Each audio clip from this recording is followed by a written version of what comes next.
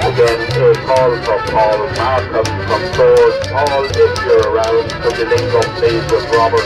Robert has the bicycle display up beside the traffic. So once again, Paul Markham from Swords, if you're around, Robert Coulter would like to see you at the bicycle display above beside the main traffic area.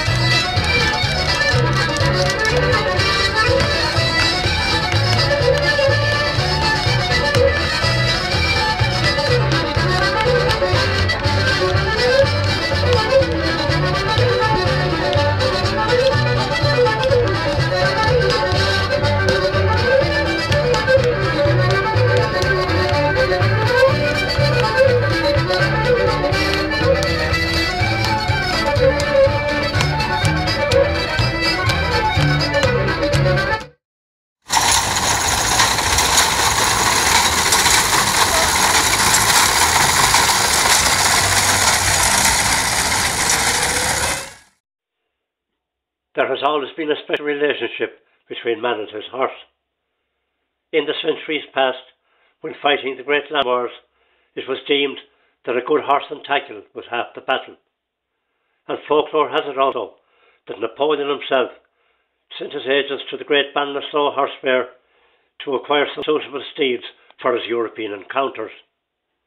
But in recent years, when working on the farm fields, this intelligent animal became totally domesticated and knew how to behave with precision. So much so that it has inspired writers and poets of all denominations to put pen to paper, like this verse here by Northern Irish poet Joseph Campbell. I will go with my father a ploughing through that green field by the sea, and the rooks and the birds and the seagulls will come flocking after me.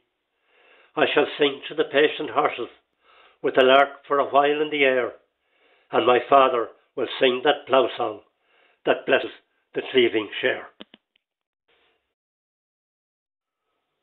On this very special occasion, we would like to wish all of our social media friends and their families throughout the country a very happy Christmas indeed. And of course, a special mention to our friends overseas in London, Manchester, Birmingham, and Watford. In the United States, in Pittsburgh, Pennsylvania, New York City, Denver, Colorado, Chicago, Illinois, Toronto, Canada, and Des Moines, Iowa. We would like to leave you here in the company of this great Sean-Nós dancer, Kevin Conniff, from Mahaska in East County, Galway, accompanied on this occasion by a few members of the Dundurry Set Dancers. Agus bí me raséis gan áras le cónab dé a agus idir an gáin gan éirí an báthir le go léir.